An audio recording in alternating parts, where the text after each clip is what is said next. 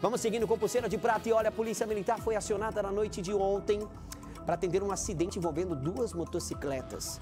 Esse acidente aconteceu na rua Oeste Prata Tibere, no Jardim Alvorada.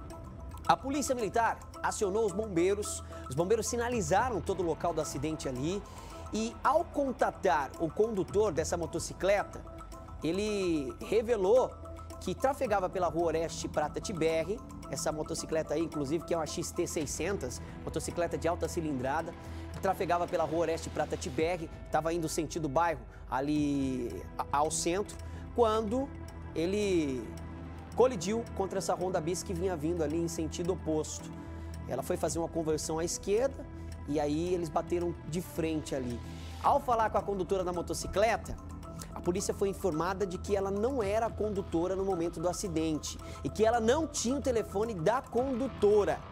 Ao solicitar a, a, a passageira a sua identificação, ela falou que ela estava confusa. Não, eu estou confusa, eu não lembro de nenhum dado pessoal, não possuía documento para apresentar para os policiais. E aí a situação ficou complicada. Agora, é um tanto quanto esquisito essa situação, né?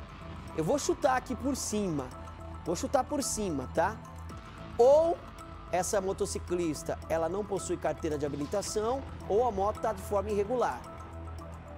Porque ela falou que não era ela, ela alegou para os policiais, isso não sou eu quem estou dizendo, é o boletim de ocorrência que está dizendo isso, de que ela alegou para os policiais que é, não sabia quem que era a outra pessoa que estava pilotando a moto. Como assim não sabe quem é a outra pessoa que está pilotando a moto? Pô, o cara está te levando na garupa da moto, você não sabe quem que é? Você não tem o contato dessa pessoa, você deixa a pessoa pilotar sua motocicleta e não sabe quem é que estava pilotando. Por isso que eu falo, né, gente? A imprudência muitas vezes ocasiona, não estou dizendo aqui, atenção, não estou dizendo aqui que nesse caso foi imprudência, tá? Não estou afirmando, é o que o boletim de ocorrência está dizendo que ela foi fazer uma conversão ali, não viu a motocicleta que vinha e acabou colidindo, né? Mas prestar atenção, gente, principalmente você motociclista aqui na cidade de Três Lagoas, tem que prestar atenção no trânsito. Como eu disse, eu falo sempre aqui que o trânsito de Três Lagoas é um trânsito um tanto quanto complicado. Eu já fui vítima do trânsito aqui de Três Lagoas. Tô sentindo na pele até hoje, né? Tô sem carro até hoje, tô andando de bicicleta. E você acredita que até, até para você andar de bicicleta aqui na cidade de Três Lagoas é complicado, ô, Ricardo? O pessoal, você mora aqui desde os 12 anos, né? O pessoal não respeita aquela ciclovia que tem ali na, na principal do Cristo. Como que é a principal do Cristo ali? A Capitão Alinto Mancini, né? Acho que é Capitão Alinto Mancini. Tem uma ciclovia ali, é uma ciclovia que vai e uma que volta. São duas mãos, uma que vai e uma que volta. Eu não sei por que o pessoal insiste em andar na contramão. Você vê, até bicicleteiro, até os ciclistas tem que receber uma aula aqui em Três Lagoas. Aí você fala, eu vou andar de bicicleta que é mais seguro aqui em Três Lagoas. Não, é pior. É pior. O pessoal não respeita. E eles vêm na contramão e acha que você é obrigado a sair com a sua bicicleta para você, claro, para você não bater, você tem que sair com a bicicleta de lado. É complicado aqui em Três Lagoas, né? O, eu falo e vou falar sempre, o trânsito de Três Lagoas é um trânsito um tanto quanto complicadíssimo. Todos os dias, praticamente, a gente está trazendo informação aqui no Pulseira de acidentes de trânsito que estão acontecendo aqui, com vítima, sem vítima, mas estão acontecendo.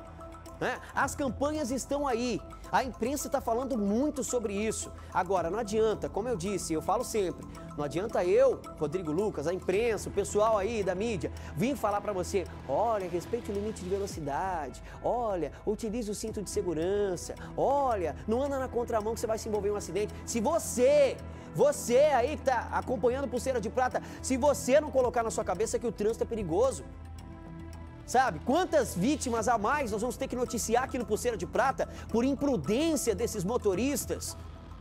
Imprudência no trânsito de Três Lagoas. É por isso que eu falo, né? Principalmente motociclista, olha aí. Olha, olha essas imagens. Olha só essa imagem aqui, olha essa motocicleta como é que ficou. Olha isso. Bateram de frente, tá? Foi uma colisão frontal. Agora você imagina, se foi de frente um, uma dessas duas estava errada.